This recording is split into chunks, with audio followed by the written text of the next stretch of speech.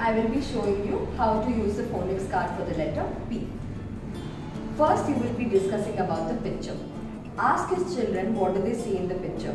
They might respond saying they see a cake, they see some candles. Ask them what which color is the cake. They'll say pink. Discuss more about the picture.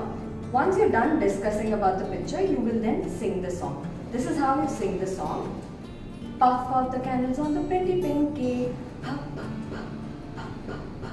Puff the candles on the pretty pink cake.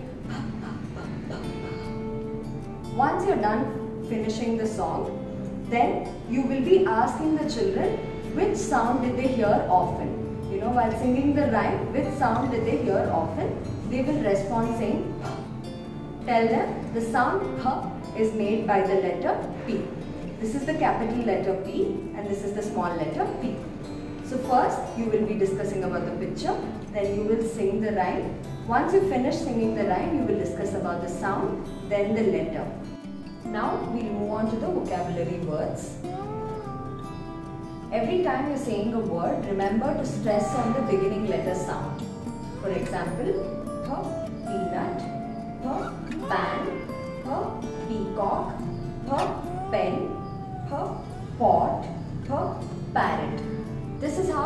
is the phonics card for the letter P.